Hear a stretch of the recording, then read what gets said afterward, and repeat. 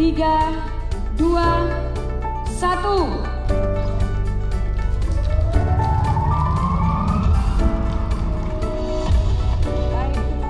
Gubernur Aceh yang diwakili Sekretaris Daerah Aceh Taukallah membuka kegiatan puncak peringatan Hari Kesatuan Gerak HKG Tim Penggerak PKK ke-50 tingkat Provinsi Aceh di Taman Ratu Safiatuddin Sabtu 19 Maret 2022. Kegiatan itu dirangkaian dalam Festival Pulau Aceh, di mana juga menampilkan sejumlah kegiatan lainnya, yakni pameran upaya peningkatan pendapatan keluarga atau UP2K, pameran buah Nusantara, penyelenggaraan pasar murah dan pasar tani, dan juga kegiatan lainnya. Gubernur Aceh dalam sambutan tertulisnya menyampaikan terima kasih dan apresiasi kepada seluruh pengurus dan kader PKK di seluruh Aceh yang telah bekerja dengan baik dalam mengupayakan pembangunan masyarakat dengan menyiapkan keluarga sejahtera melalui gebrakan yang dilakukan selama ini. Sementara itu, Ketua Tim Penggerak PKK Aceh Diah RT Idawati dalam sambutannya menyampaikan peringatan Hari Kesatuan Gerak PKK tahun 2022 ini mengusung tema 50 tahun gerakan PKK berbakti untuk bangsa dan berbagi untuk sesama yang bermakna bahwa kiprah PKK selama ini memang sepenuhnya didedikasikan untuk mendukung program pemerintah dengan fokus pada isu keluarga dan juga masyarakat. Ia menyebutkan peringatan HKG PKK tingkat Provinsi Aceh yang diikuti oleh pengurus PKK dari 23 tiga kabupaten dan kota, serta perwakilan kader PKK dari berbagai daerah itu dimaksudkan untuk menggelorakan 10